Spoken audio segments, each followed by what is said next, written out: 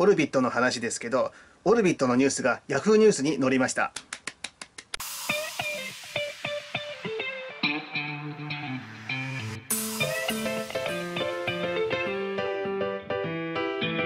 文化系道具 YouTube グランパンパスです。水曜日に渋谷に行ってオル活、オタ活、オル活をやってきまして、HMV とかサイネージ広告のね、見たやつとか編集しようかと思ってたんですが、その前にちょっとね、これ紹介しておきたいなっていうのがありまして、なんと、オルビットのニュース、この間、ゆうごくんのやつを紹介しましたが、今度のニュースはなんと Yahoo ニュースにも載ったんですよ。そのニュースは誰のニュースかというと、こちらですね。俊也くんのニュースです。はい。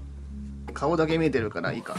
ニュースはあのリアルサウンドさんのやつなんですが、Yahoo ニュースに載ったんです。で、Yahoo ニュースというのは、ニュースをね、ピックアップ Yahoo 側でやって、それでこれはいいんじゃないかっていうやつを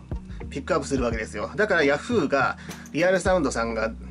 出していたこの俊也くんのニュース、これがいいんじゃねえかっていう風に判断したってことですからね。これはなかなかの快挙ですよ。ファーストキッチンとかラウンド1のコラボも順調なわけですし、オルビットのアルバム O2 も順調なわけですし、どんどんファンが増えてるわけですよ。いろんなところから。まあ私がその中の一人でもあるんですけどね。最初から知っていたわけじゃなく、実際のところ、オルビット知ってから1ヶ月経ってないはずですからね。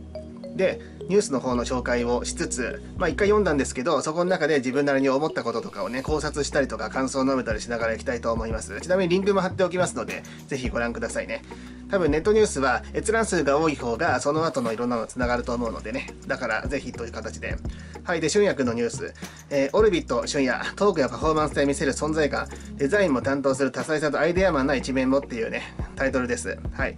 あの、名前のある方の記事でございました。で、独自のコンセプトを強く打ち出し、MV でも確立した世界像を展開しているボイスグループオルビット。うん。ここの部分でまずオルビットのことちゃんと分かってらっしゃる記者さんだなってことですね。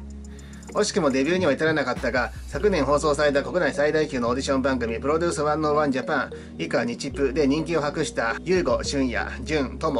ユンドン、ヒチョ、ヨンフの7人からなるグループだ。バラエティ豊かな個性を持つメンバーの中から、今回は多彩さを発揮している俊也にスポットを当ててみたい。ここでまず私が思ったこと。あの、バラエティ豊かな個性を持つメンバーの中から、今回は多彩さを発揮している俊也にスポットを当ててみたい。これ、今回はって言ってるってことは、ゆうごくんのやつが前ありましたが、今回はしゅんやくん、しゅなちゃんなんですけども、しゅなピちゃんなんですけども、あの、もしかしたら他の5人も行くつもりで、シリーズ化するって宣言じゃないのかなってちょっと思っちゃいました。今回はって書いてありますからね。次回はみたいなことかもしれませんから。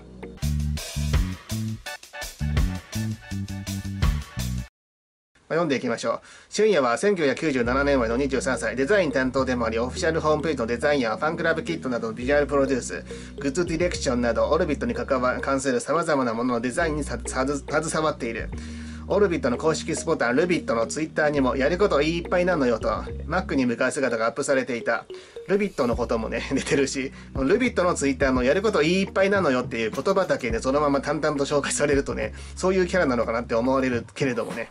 そんな俊也の魅力の一つは存在感の強さだろう。日プ時代からそれは健在で、1分 PR 動画はもはやファンの間伝説になっている。おでこのサイズはセミダブル、鼻の穴のサイズはキングサイズという独特の挨拶で視聴者の心をつかみ、熱々ラーメンを食べ終えて、余った時間で自己 PR するというチャレンジを 観光。だが結局ラーメン食べることはできずに、もごもごいったまま動画が終了するというシュールなものであったという。まあちょっと長くなるんで、あの、抜粋しながらいきますが、はい、ラーメン動画ね、私も見ました。あれ見るたびに毎回、毎回、あの、おほってやったとこで笑っちゃうんですよね。ていうか、あの、私は何を見せられてるんだろうというふうに思いますけれどもね。はい。あの、コメントのところも優しくてね、なんだかとても良かったなと思います。あの、ね、ラーメン動画、一応知ってらっしゃるかもしれませんが、リンク一応、ラーメン動画も貼っておきますね。でちょっと飛ばしながらなんですけども、えっ、ー、と、オルビット結成後も存在感の強さは変わらず発揮。YouTube にアップされているオフィオルビットオフィシャルグッズ To Earth のご紹介では司会進行を務め流暢なトークを展開。過不足なくグッズの説明をしつつ、使い方のアドバイスをしたり、メンバーを求めたりする姿が見られる。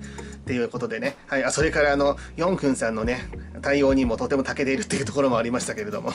さらにデザイン担当しているだけあり、アイデアマンな一面も持っている。日米のグループバトル時に秘書が振り付けに悩んでいたことがあったが、春夜のアイデアが行き詰まりを打破したことがあるみたいなところもありつつで、ここでも秘書さんとのね、関わりというのがあるというのは嬉しいことでございますが、まあ、ちょっと飛ばしながらいきますが、まあ、そんなシュンヤは普通段の様子とパフォーマンス時の様子に大きなギャップがあることでも話題になるメンバーだ。ダンスはそつなくこなせるし、声にも透明感がある。ユニバースでもパートは決して多くはないが、他のメンバーと被ることがない声質で歌を響かせている。ユンドン、ユーゴと共に歌っている。O2 収録曲、水たまりでも低音域に伸びる歌声を披露。ユンドンとユーゴが比較的高い声のためしっかり差別化ができている。こういうところを語ってくれるのも嬉しいですね。今はね、水たまりもサブスクで聴けますので、ぜひみんな聞いてほしいなと思うところですよ。この、あの、ニュースを読んだ人がね。Yahoo ニュースの方に行くとね、もともとリアルサウンドさんの方だと動画のリンクとかも貼ってあったんですが、Yahoo ニュースだとそれができないので、そこの動画のリンクがいけないっていうのはちょっと残念なんですけれども、でも Yahoo ニュースに紹介されるっていうのは注目されてるってことですからね。そして何といっても、普段から想像できないほど色気が出ているのが、春夜のパフォーマンスの特徴ではないだろうか。節目からカメラへ目線を送るという表情をよく見るが、その真剣な眼差しは色気を含み大きなギャップにつながっている、などなど、結構この方は随分春夜を見ておりますね。でも記者をやるぐらいだからそういう観察感がないといけないのかなと思いますけれども。控えめな部分もありながらトークでもパフォーマンスでもしっかり存在感を出せている春夜大きなギャップを武器にこれからも多くのファンを増やしていくはずだ。より幅広い層に発見されるために彼はオルビットになくてはならない存在と言えるだろうということです。ですね。このまさに最後の言葉が集約していると思うんですがより幅広い層に発見されるためっていうところにおいてあのバラエティとかの担当にもなれるしデザインとかもできるし。でまあ他の6人に比べて歌とかダンスとかラップとかの部分ではパートは確かに少ないですけれどもそれを補って余りあるぐらいのデザインの才能となくてはならないそのオルビットの中でのね結構大変だと思うんですがね実際のところいろいろなデザインもしてねいつも言っていいって言ってるわけですからね。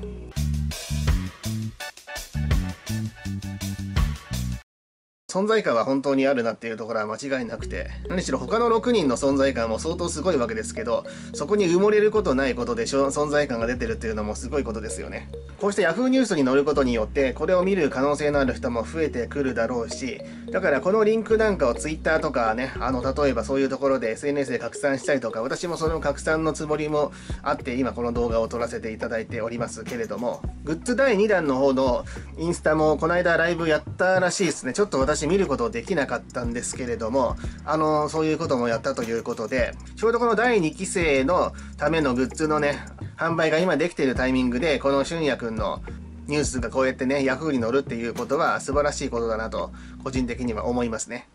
で、もしかしたら本当にこれ、あの、シリーズ化みたいな感じで、ゆうごくんとしゅんやくんが来たので、次は例えば、ともくんとか、じゅんくんが来るとかね、まあ、ひちょさん、ゆんどんくん、よんふんさんとか、あの辺にも来るかもしれないし、わかりませんけれどもね。まあ、例えばさ、韓国3人組は、あの、一斉にやるっていうパターンもあり得るけれども、ただちょっとこれは期待できますね。何しろ次はともくんかじゅんくんかなって気がするけれども、ともくんのあのスーパーボーカルとじゅんくんのスーパーラップがあるから、そこに特化するっていう部分でもとてもいいと思うし、渋谷行った動画はまたね、あの、今から編集始めますけれども、あの、HMV 寄ってきて、あの、未だにやっぱり飾ってあったんですよ。あの、オルビットのコーナーもちゃんと設けてくれてあってね、そう、オルビットのコーナーまだあるんです。で、そこにちゃんと、あの、7人の、あの、言葉も書いてあるんです。一応、写メ撮ってきたんで、あの、載せようと思います、今度ね。いや、むしろここで載せちゃう、むしろここで一回載せとこう。こういう感じであったんです。はい。ね。またちょっと詳しくね、動画でこのことについても触れますけれどもね。だから見てくれてる人は見てくれているなと。見てくれてる企業も見てくれている企業でいるなっていうところ。その、まあ、筆頭が HMV であり、ここ最近ではファーストキッチンさんであり、ラウンドワンさんであると。で、このネット記事を書いてる、えっと、高橋あずささんっていう記者でいいのかな。名前が書いてあるんですよ。あのね、そうやって見てくれてる方は本当にいらっしゃるので、だから、今はまだ力を貯めている状況かもしれませんが、必ずね、オルビットのみんなは、私たちアースをね、もっと楽しいところに連れてってくれると信じておりますので、私たちもね O2 のアルバムとか聴きながらねあとファンクラブのコンテンツとかを見ながらそれがその日が来る日をじっくりと待とうかなってそういう感じになりましたね。はい、というわけで、まあ、急遽でしたけれども、Yahoo ニュースにね、俊也くんのことが紹介された記事が載ったというところでね、はい、もう拡散拡散ですよ、こうなっちゃうとね。ではまたオルビットなども含めまして、いろんなグループの動画を撮ってまいりますので、よろしかったらチャンネル登録をしまして、次の動画などお待ちください。では、失礼いたします。言いたいことは今日言っておくグランパンパスでした。